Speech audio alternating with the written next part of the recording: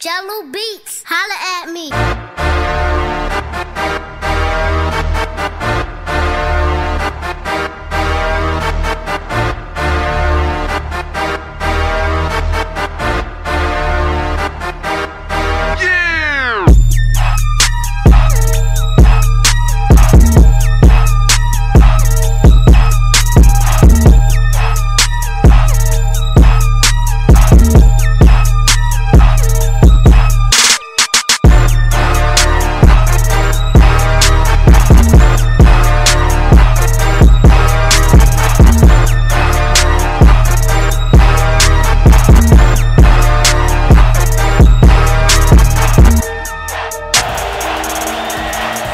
Option, pitch, first down, spin move, more. Gallman, oh my, kept his balance and got inside the 50. Tremendous 25 yard run.